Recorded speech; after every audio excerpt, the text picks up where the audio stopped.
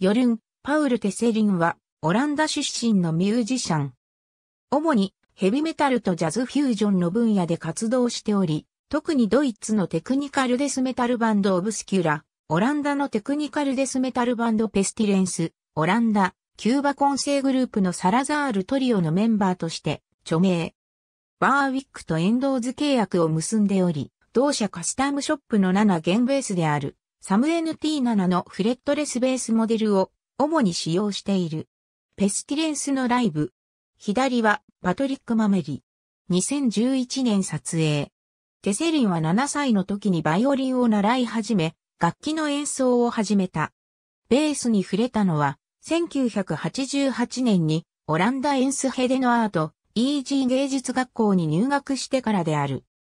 1992年にエンスヘデ出身のテクニカルデスメタルバンドペスティレンスにベーシストとして加入、フォースアルバム、スフィアーズに参加した。ペスティレンスは1994年に解散している。1995年からは微分音の研究を始め、その結果、1999年にハフニウム、アルゴンが残されている。この時期に続いて、アラビアの微分音と現代音楽に触発されたて、セリンはフレットレスベースを主に使用する様になった。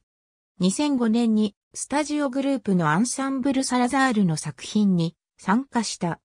この時録音したデモテープ、カラーズはメンバーが高品質な作品であると認めていたものの、公式にリリースされることはなかった。2007年から2011年の間、ドイツのテクニカルデスメタルバンドオブスキュラに加入しており、セカンドアルバム、コスモジェネシスとサードアルバム、オムニビウムに参加した。また、2008年にペスティレンスが14年ぶりに再始動され、2009年よりテセリンもペスティレンスに再加入。15年ぶりにペスティレンスに参加した。シックスアルバム、ドクトリンに参加したが、2011年に再度脱退している。また、この時期までは6弦、フレットレスベースを使用していたがこの年から、ドイツのワーウィック製の7弦、フレットレスベースを使用するようになった。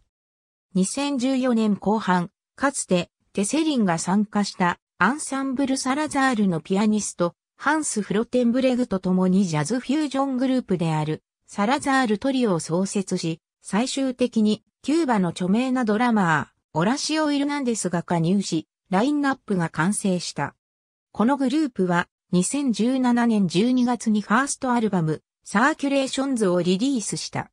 2019年10月には、フュージョン、ワールド、メタルを標榜するグループクアッドビウムを同じベーシストのスティーブ・ディジョルジオと共に立ち上げた。